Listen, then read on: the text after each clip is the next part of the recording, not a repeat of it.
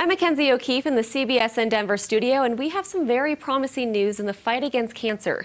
According to a new report, death rates have dropped for some of the most common cancers. That report was from the American Cancer Society and CDC, among others. It tracked cancer deaths from 2014 to 2018. Among men, death rates dropped for 11 out of the 19 most common cancers. For women, rates dropped for 11 of the 20 most prevalent cancers.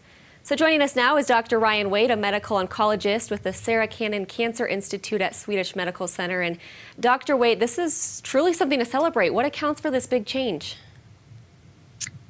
Yeah, this is a celebration for the medical community and our um, fellow colleagues in the research community. I, I think there's multiple factors that contribute to this change and the drop in death rates that we've seen in recent years. I think that early detection through improved uh, detection technologies, as well as advancements in anti-cancer therapeutics and access to healthcare have all contributed to the decline in death rates that we're seeing now. Which is great to hear. Um, the study found the biggest drop in deaths were in melanoma patients, and melanoma is one of the most common cancers here in Colorado. So tell us, how has awareness and treatment improved survival rates there? Yeah, my practice uh, actually focuses on melanoma and skin cancer specifically, so I, I like to speak to this point. Um, we're very happy to see that this drop, the drop in melanoma deaths in recent years and I think that this, again, is multifactorial. There's been an increase in awareness in terms of dermatologic surveillance and the importance of dermatologic surveillance for detecting uh, melanoma and other skin cancers very early on at a time which they're more treatable and curable.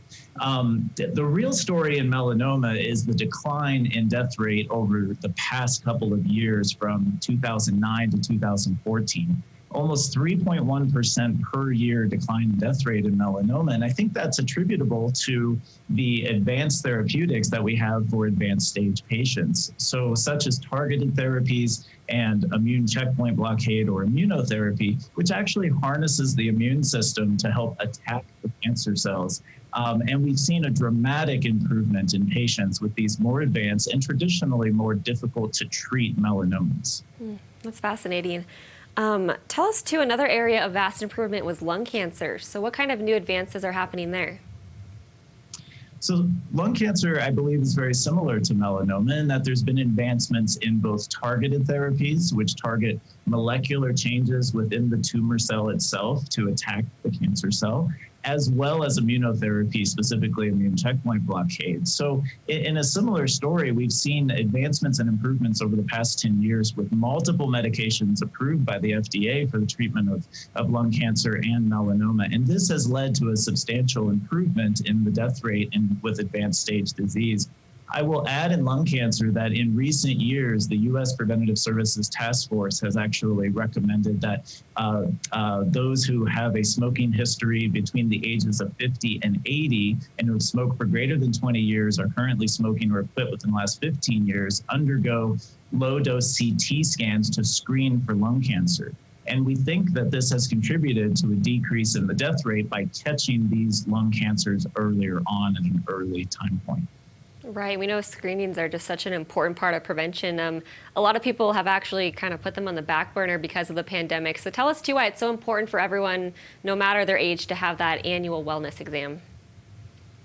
Yeah, so having a, an ongoing dialogue with your internist or your primary care physician for an annual wellness visit and to make making sure that you have those appointments, that you keep those appointments, that you have a conversation with your provider about the importance of cancer screening is, is really critical. Uh, there may be modalities or screenings available to you that you would not otherwise be aware of. So it's critically important that people visit with their providers, uh, visit with their primary care physicians to discuss these um, these issues. Um, I, I, would also add one other point that you know this this uh, study highlighted that there's also disparities in um, access to care and, and healthcare disparities across our community in Colorado and beyond. And while the death rates for cancer have decreased across all races and all ethnicities, I think that we th- this highlights that we need to continue to advance our efforts to dismantle the existing healthcare disparities that we see in our community. Oh, yeah, just so important. Uh, thank you so much, Dr. Wade, for joining us. We really appreciate all this important information. Well, thank you so much for having me. Of course. And for more details on that study, you can head over to cbsdenver.com.